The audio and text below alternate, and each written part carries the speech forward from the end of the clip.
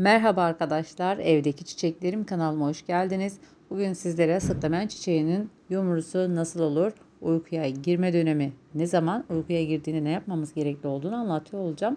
E, uykuya girmeyen ya da yarı uykuda olan sıklamen çiçeği de var. Görmüş oluyorsunuz ki burada benim bu üçüncü yılımıza geçiyoruz. Bu kışı doldurursak üçüncü yılımızda tohumdan yetiştirmiş olduğum bir sıklamen çiçeğimiz. Bu uykuya girmedi.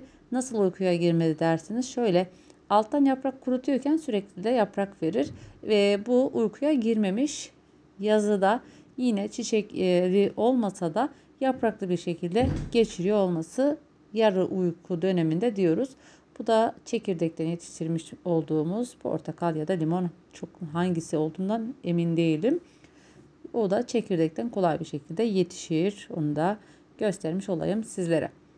Yumrusu nasıl oluyor derseniz eğer ki sıklamen çiçeğinin arkadaşlar şöyle bu tarafta gösterelim sizlere bu dop dolu e, kış geldi mi yapraklarından toprak görünmeyen bir sıklamen çiçeği arkadaşlar.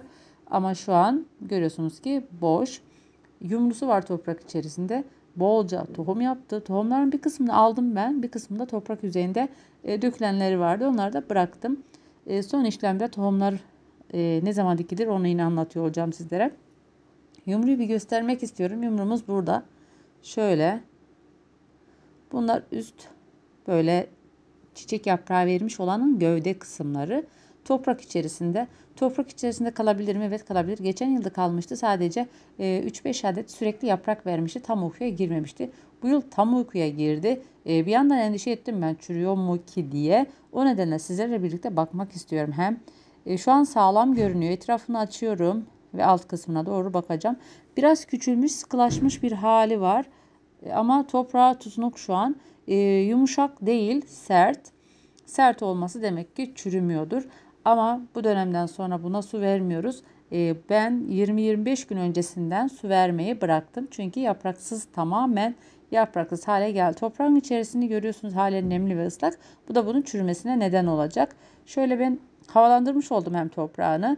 E, yumruğumuz bu şekilde toprak içerisinde bekleyebilir ama sulamayı yapmıyoruz. Alt kısmını yumuşak mı diye kontrol ediyorum. Hayır yumuşak değil. Gayet güzel ve toprakta bekleyebilir. Ne zaman? Eylül ayı gibi tekrar sulamaya başlıyoruz. Eylül ayından sonra yeni yapraklarını sizlere vermeye başlayacak arkadaşlar. Tohumlarımız varsa nasıl dikeceğiz derseniz tohumlarınızı Ağustos ayının e, son haftalarında toprakla buluşturun. Kendileri zamanı gelince sizler sürekli nemli tutarak toprağını kendiliğinden yeşereceklerdir. Toprak yüzeyine serpeleyip şöyle çok az toprağı bir çatalla karıştırır gibi sağa sola karıştırmanız e, yarı böyle çok hafif bir toprak içerisine e, tohumların gömülmesi yeterli olacaktır. Kendiliğinden kolay bir şekilde çoğalır. Hemen şöyle bir karıştırıp bunun içerisinde yine tohumlar var. Tohumların yeşermesi için de toprağımızı gevşetip bir güzel harmanlandırdım. Sulama yapmayacağım şu an. Eylül ayında sulamaya başlıyor olacağım. Yumruğumuzu bu şekilde toprakta saklayabiliriz arkadaşlar. Umarım videomu faydalı bulmuşsunuzdur. Faydalı bulduysanız lütfen videoma beğeni bırakmayı, henüz aramıza katılmamışsanız da kanalıma abone olarak aramıza katılabilirsiniz. Kendinize iyi bakın. Bu hayattan önemlisi sağlık. Sağlıcakla kalın. Allah'a emanet olun. Görüşmek üzere bir sonraki videomuzda.